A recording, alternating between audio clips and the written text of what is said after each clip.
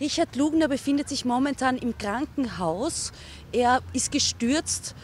Was meinen Sie dazu? Schicken Sie ihm liebe Grüße? Den Herrn Lugner? Ja, gerne. Ich wünsche ihm alles Gute. Vom ganzen Herzen, selbstverständlich. Gute Besserung. Ich wusste nichts davon, aber ja, gute Besserung. Und baldige Genesung. Das heißt, Sie schicken ihm jetzt ins Spital wahrscheinlich gute Besserung. Ja, auf jeden Fall. Also ich, ich wäre auf jeden Fall, ja. Aber Sie verfolgen Richard Lugner mit, der war ja immer wieder auch auf verschiedenen ähm, TV-Kanälen auch zu sehen, auch sein Privatleben. Was sagen Sie zu seinem Privatleben? Also ich muss sagen, ich verfolge sein Privatleben eigentlich überhaupt nicht.